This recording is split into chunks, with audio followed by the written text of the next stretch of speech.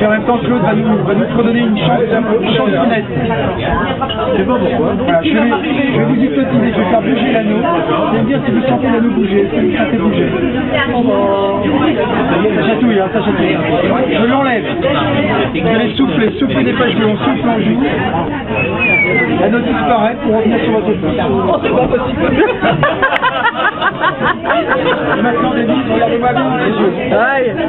Je vais vous hypnotiser. Ce film s'appelle Gilly Gilly. Ça s'appelle Gilly Gilly.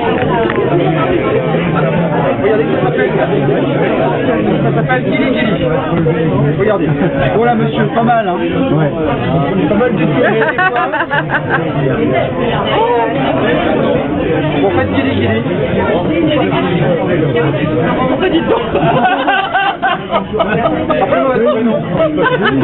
Denis, ça n'a pas changé. Denis, Denis, est-ce me dire l'heure, s'il vous plaît Elle elle. Elle est là. Hein.